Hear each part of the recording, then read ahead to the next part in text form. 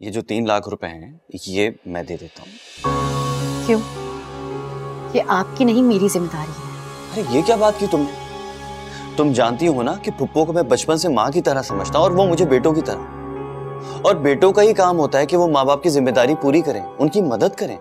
अगर आप वाकई से अपनी ज़िम्मेदारी समझते हैं तो मामू जान से कहकर अम्मी का हिस्सा उन्हें दिखा दें। मॉम इस ज़रिए को रुकवाना ज़रूरी है। नहीं तो ये माँ बेटी ना भाई को कंगाल कर देंगे। मैं क्या सोच रही हूँ? इन्हें पैसों की ज़रूरत है ना? हम इन्हें पैसों से जलील करेंगे। कैसे?